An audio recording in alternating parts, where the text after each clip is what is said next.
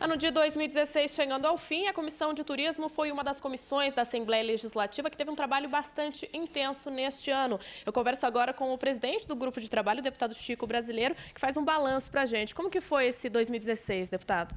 Foi um ano muito produtivo dentro da Comissão de Turismo, pois, pois, nós avaliamos não apenas os projetos que chegaram até a comissão, que foram diversos. Nós tivemos mais de 20 projetos avaliados, discutidos, relatados e aprovados, uh, ou alguns substituídos com emendas, enfim, um grande trabalho na área de projetos. Mas nós tivemos grandes audiências públicas realizadas aqui na Assembleia pela Comissão de Turismo, como a audiência pública que fomentou o debate sobre os transatlânticos, os cruzeiros, as rotas turísticas de cruzeiros uh, para o nosso estado. Inclusive, uh, tivemos o sucesso de obter um transatlântico que nos visitou esse ano, fruto desse trabalho que vem sendo desenvolvido em parceria com o Porto, em parceria com os segmentos do turismo e a Paraná Turismo.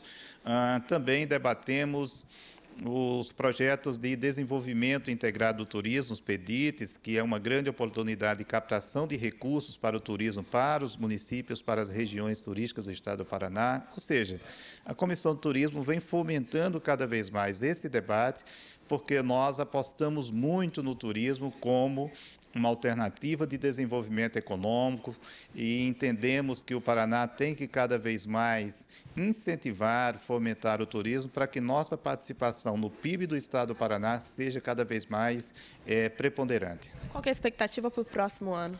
É sempre uma expectativa positiva. O turismo cresce, o turismo gera uh, cada vez mais riqueza, o turismo gera cada vez mais investimentos e eu tenho certeza que a pauta do turismo vai estar sempre presente aqui uh, na Comissão de Turismo e na Assembleia como um todo.